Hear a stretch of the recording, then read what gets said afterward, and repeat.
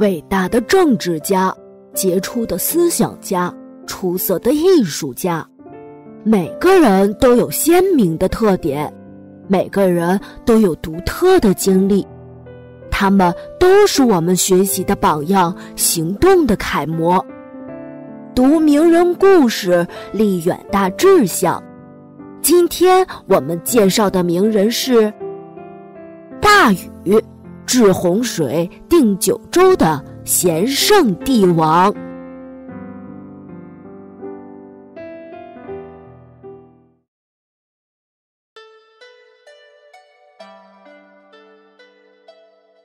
大禹，治洪水、定九州的贤圣帝王。禹是中华文明始祖黄帝的玄孙，上古贤帝颛顼的孙子。他的父亲名字叫鲧。禹是夏朝的第一位天子，因此后人也称他为夏禹。大禹是中国古代传说时代与尧、舜齐名的圣贤帝王。他最卓著的功绩是治理洪水，第二大功绩是划定中国版图为九州。后人称他为大禹。禹死后安葬于会稽山上，那里现在。还有禹庙、禹陵、禹祠。从秦始皇开始，历代帝王大都来禹陵祭祀他。据说，鲧结婚后很久都没有孩子。鲧和他的妻子女西都很纳闷儿。一天的傍晚，女西去河边打水。望着河里流水和满天的霞光，心中十分的喜悦。他与同伴嬉戏玩耍，玩耍中他拾到了一枚野果。这枚野果外形艳丽，女溪十分喜爱，便将它含在了嘴里。没想到，这枚野果子竟然像鹅卵石一样光滑。女溪一不小心就将它咽入腹中，就这样，女溪有了身孕。人们都说怀胎十月，可是女溪怀孕已经有十四个月了，但是孩子却迟迟都生不下来。没有办法，人们只好剖腹将孩子生了出来。这个孩子就是大禹。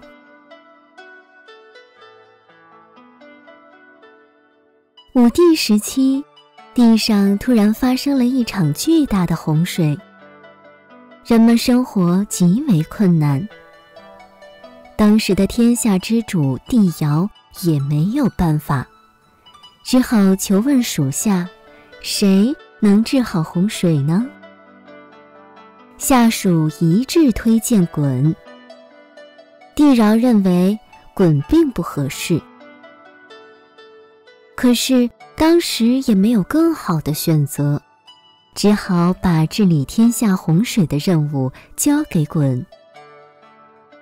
当时的中原正在闹洪水，尧帝就命令大禹的父亲鲧去平息水患。鲧采用涨水法来治理水灾，但是经历了九年的时间，也没能平息水患。于是尧帝一怒之下，便将鲧处死。鲧的故事在中国神话中也有体现，不过这里的鲧不再是凡人。而是一位充满正义的神。当时天帝发下洪水，惩罚人间的百姓。鲧不忍心看着百姓受苦，于是悄悄下凡，带领凡间百姓抵御洪水的危害。为了能够彻底消灭洪水，鲧还去天帝的宝库中窃取了息壤。息壤可以随着水势上涨而变高变大。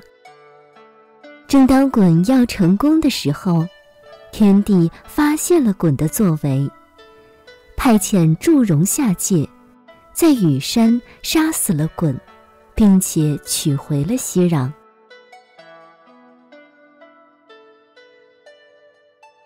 鲧死后，要有人接替他的职位，继续治理水患。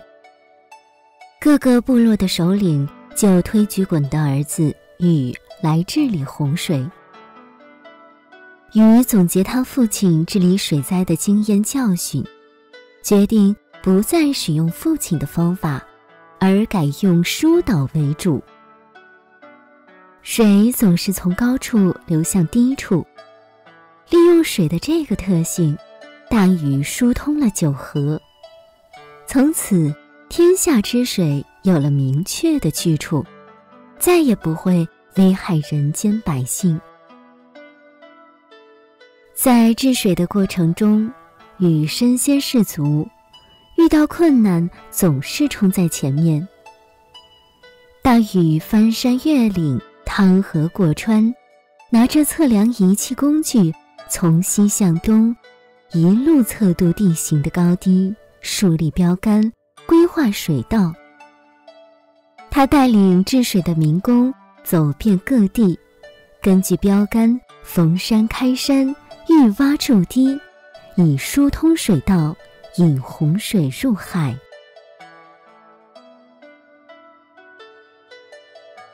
禹为了治水费尽脑筋，不怕劳苦，也不敢休息。